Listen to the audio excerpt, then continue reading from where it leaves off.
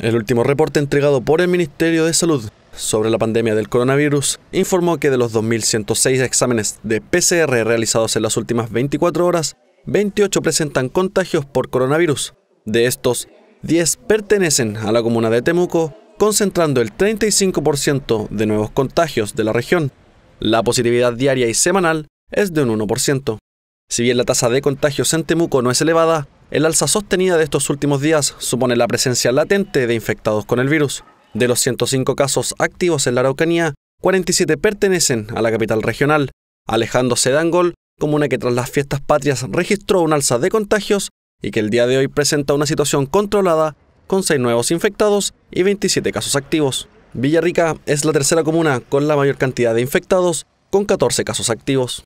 En relación a los casos graves por COVID-19, la red de salud pública y privada reportó 31 pacientes internados en clínicas y hospitales de la región. De estos, 3 se encuentran en unidades de tratamiento intermedio, 2 en unidades de cuidados intensivos y 10 pacientes se mantienen conectados a ventilación mecánica.